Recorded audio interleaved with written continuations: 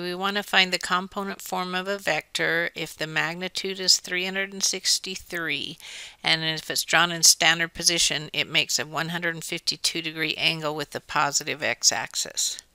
Okay, so it's going to be over here somewhere because this angle from the positive x-axis is 152 degrees and then we also know the length of this vector. It is 363. So we want to find the component form, so that's breaking it down into the x and the y.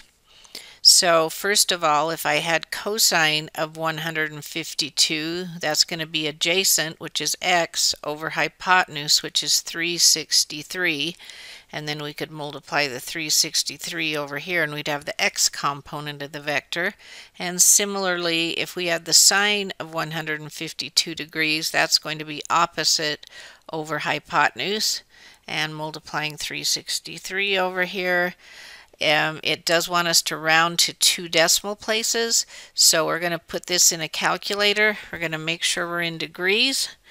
And I'm going to do 363 cosine of 152 and that's going to be negative 320.51 to two decimal places.